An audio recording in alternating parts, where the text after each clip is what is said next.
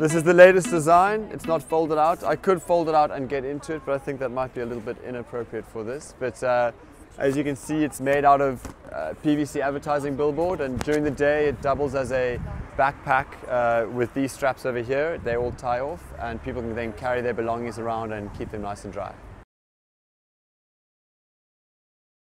We try and make it as easy as possible. So you can log on to the website, which is streetsleeper.org, and for 150 Rand, you can gift a bag to a homeless person. Uh, we will then take that money and uh, we will transform a billboard into a sleeping bag and we distribute it at a, one of the feeding centres around the city in Cape Town.